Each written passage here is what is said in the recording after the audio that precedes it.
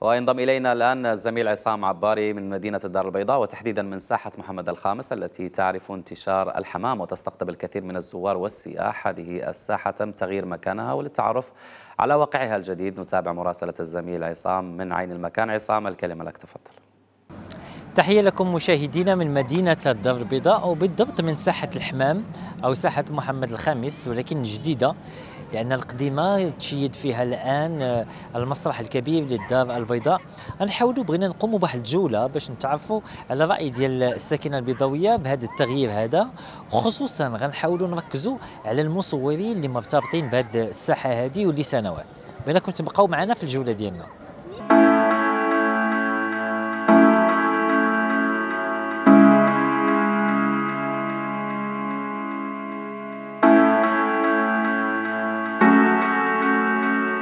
سيدي شفناكم جايين فرحانين كفريق وشفناكم في ساحة الحمام. نعرفوا شنو المناسبة. كنا لعبنا واحد المقابلة ديال آه، كاس ديال آه، عيد المسيرة. وجينا وربحنا وانتصرنا وجينا درنا دورة شرفية ووريت الوليدات الحمام وريتهم الساحة لأن في الأول كانت قديمة وملي تجدات جدتهم ثاني باش يشوفوا هذا المنظر الجديد اللي اللي تزاد. والحمد لله هادشي كيشرف المغرب وكيشرف الشعب ديالنا. والحمد لله أنتم كتشوفوا كل شيء مزيان كل شيء ناشط كل شيء ضاحك. وهاد الوليدات ذوي الاحتياجات الخاصة. جيناهم حتى هما باش يفرحوا وينشطوا ويشوفوا واحد البلاصة ربما كاين اللي ما شافهاش وكاين اللي شافها. والحمد لله هما ناشطين راه كتشوف فيهم جايين ناشطين. وضاحكين والحمد لله. السلام عليكم. شفناك اليوم في ساحه الحمام. واش دائما كتجي لهذه الساحة ولا لا؟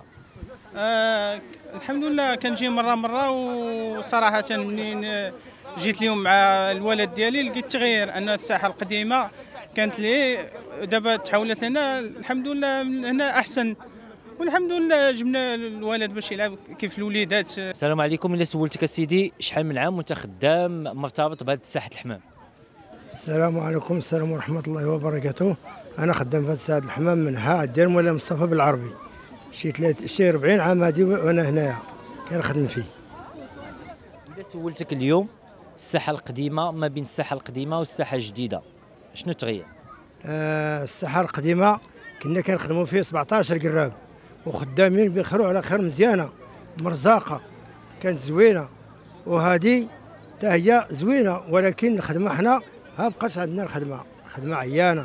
هذه يعني فيها اتساع بزاف ولكن الخدمة حنا ما بقاتش عندنا. راه ما اما أختك دابا شي شي مؤمن ولا شي مؤمن يتعاون معاك والله ما تدي عشاك. ومن جاب الله هاد السياحه كنخدموا معاهم ما تدي عشاك. يعني الساحه القديمه بالنسبة لي أنا في الخدمة مزيانة. من جهة الخدمة أحسن. عندي 40 عام في هذاك المحل هذاك هو اللي في ذاك الخصه القديمة عندي 40 عام. عاد جينا لهذه الخصه هذه الجديدة. هي حقا مزيانة ماشي ما مزياناش فيها مناظر ساهيه وفيها السياح وفيها بزاف الحوايج. ولكن كاين واحد شوية ديال الفرق. كاين فرق كثير بين بين الهي وبين هنا. اللي كانت فيها شي حاجة عاطية للسياح وبزاف المسائل. وهنا عاوتاني عندها ذوق آخر. هذا هنا هذاك هنا عصري.